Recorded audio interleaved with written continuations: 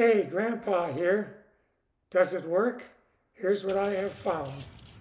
Worked much better than I had expected.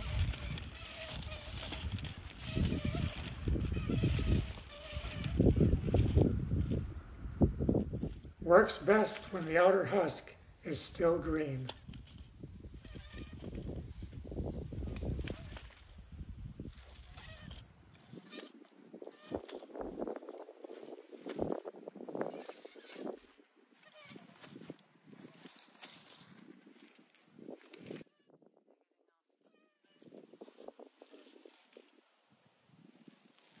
As you can see, we start having problems when the walnut's outer husk starts to turn black.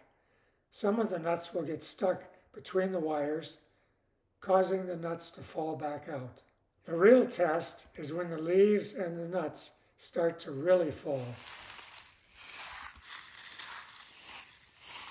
The nut gatherer is great if you have just a few trees and pick them up often before they get black and mushy. I would say if you have a lot of trees, it's not the solution.